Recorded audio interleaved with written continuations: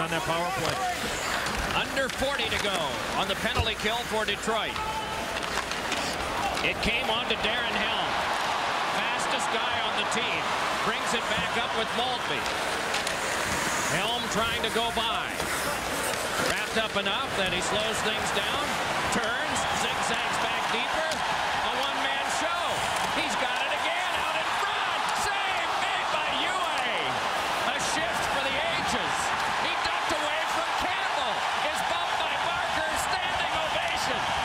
25 seconds. What a job.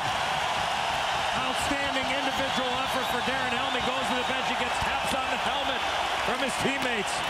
That's one of the best I've seen since number 40 in red against Pittsburgh last spring. We're talking about killing the clock and playing keep away.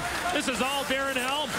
Body position. Watch a quick little stop right here. And watch the little move. He takes the puck away from Patrick Sharp. Watch the little stutter step by Darren Helm. He just stays with it. Campbell's